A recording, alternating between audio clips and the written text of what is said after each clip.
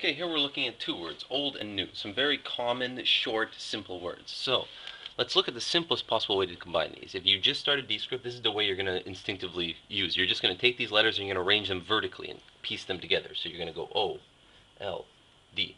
You could actually draw the extra space for the D, but continuing a line like so seems rather unnecessary. So there's old. I kind of like that. Maybe a person or something. It looks kind of neat. You got your arms. He's doing the splits, or he's. I'm not sure.